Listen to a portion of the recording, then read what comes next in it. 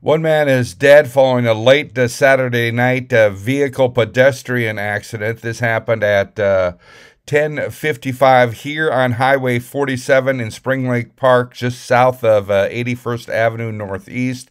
Minnesota State Patrol says a pedestrian was standing in the roadway and a Ford uh, Taurus was traveling northbound here on Highway 47 and struck the pedestrian, causing a fatal injury.